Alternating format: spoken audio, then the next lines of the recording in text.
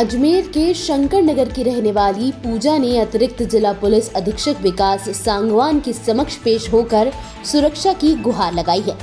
उसने अतिरिक्त पुलिस अधीक्षक को दिए ज्ञापन में आरोप लगाया कि पार्षद द्रौपदी कोली उनके मकान पर किसी और महिला का कब्जा करवाना चाहती हैं, जबकि यह ज़मीन उन्हें उन्नीस में अजमेर विकास प्राधिकरण ने अलॉट कर दी थी।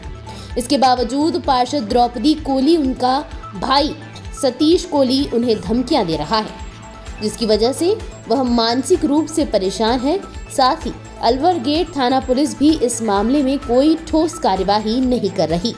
सिर्फ़ उन्हें पाबंद किया गया है। पार्षद का रौब दिखाते हुए वह उन्हें बेवजह परेशान कर रही है और आए दिन उस महिला के साथ आकर उन्हें धमकियाँ देती है। जिस पर अतिरिक्त जिला पुलिस अधीक्षक विकास सांगवान ने उन्हें कार्यवाही का आश्वासन दिया।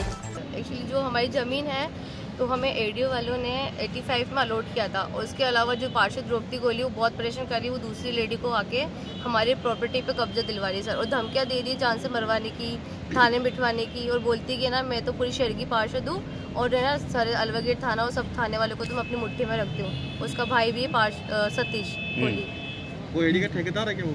हाँ ठेकेदार और धमकियाँ देता है वो भी बहुत। किस तरीके की धमकियाँ देते हैं आपको और बोलती है ना उठवा लेंगे जान से मरवाने की तुम मारो मैं खड़ी हूँ यहाँ पर ऐसे ऐसे बोलते सर वो।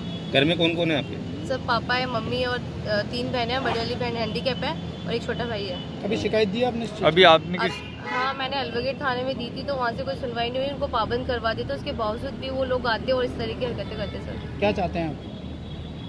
क्या चाहते सर? हम तो हमारे चाहते जो हमारी जो हमारी भूखंड एक सौ तेरह है ना उसका नाप करके और हमारी तो हम तो हमारी ज़मीन चाहते हैं बस। अभी किससे मिलना है आप अभी तो एस पी सर से मिलना है थी मैं।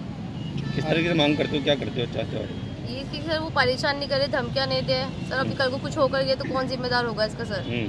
हुई है इसके साथ? हाँ हो। गया उन्होंने? कहा कि हम इन तीनों को पाबंद करवा देते हैं। तो द्रौपदी देवी आपके वार्ड की पार्षद नहीं वो चौवालीस की है वार्ड की और यहाँ पर अड़तालीस वार्ड में आके वो इंटरफेयर करती है और धमकियाँ देती है आपके पार्षद कुछ नहीं बोलते कि आपके वार्ड के? हमारे पार्षद भी गए थे उनके पास तो बोले वो तो खुद ही कांग्रेस की टीम में तो क्या बोलेंगे सर वो? हाँ।